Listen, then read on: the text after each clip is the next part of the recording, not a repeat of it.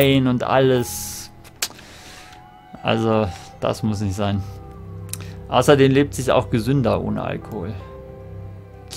Okay, ich würde sagen, wir gehen mal und lassen... Oh, da brennt es schon wieder. Ach, wie süß. Guck mal, hier steht noch so ein kleiner Trailer rum. Pollacks. Alter. Die Pollacken. Bei den Brenns im Wohnwagen. Die Pollacks, da steht's. Ich hatte sehr nette polnische Nachbarn hier nebenan. Aber das ist ja mal cool. Olga Henfling. Herkunft Pollacks Wohnsitz und nichts, steht nichts da. Einfach nur, ah! Die Olga. Da haben wohl ein paar mit Feuer gespielt, wa? Die wird zu Tode gelöscht. Deutsche Feuerwehr tötet Polen. Oh mein Gott, das müssen wir löschen. Oh Mann. Das ist politically so inkorrekt. Angriff auf Polen. Vorgeist Feuerwehr Simulator. Oh mein Gott. Oh, sie ist tot. Sie ist weg. Ich hatte sieben Tage. Die haben sie zu Tode gelöscht. oh mein Gott. Da können wir kein Highlight draus machen.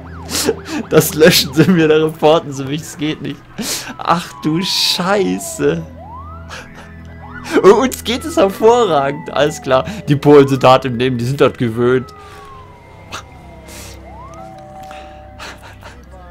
Was mich unglücklich macht, ich finde hier nirgendwo was zum Einkaufen. Alles klar. oh mein Gut, dass wir noch nicht rausgegangen sind. Ah, hier ist das Olga.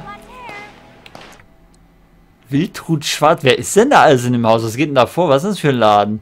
Was machen denn die Polen da? Oh, hier ist Elfriede Pollack. Nimmt jeden Job an. Yeah. Annette Pollack ist pleite und hofft Arbeit zu finden. Also nicht, dass wir hier irgendwelche Klischees bedienen, aber ich finde, das passt alles. Oh, warte mal, sind das noch mehr Pollacks hier? Seid ihr alles Pollacks? Dimitros Pollack. Auch pleite. James Pollack nimmt jeden Job an. Oh Mann. Ja, wenn das nicht so schräg wäre, wäre das echt ein gutes Highlight, aber ich äh, glaube nicht, dass wir das machen sollten. ja, das war ein Abend in Honeyball City. Hm.